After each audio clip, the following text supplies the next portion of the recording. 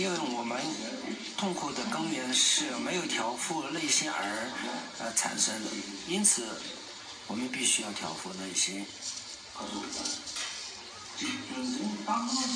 就是相似的这种因质，也就是呀，实业比较狭隘的话，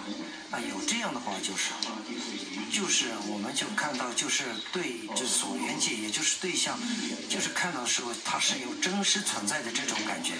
就是非常寓意的这种真实的执着。所以说，有了这样的话，就是产生了。不快乐，产生仇恨，产生呃怀疑。因为我们看到寓意的，呃，看看到这些一些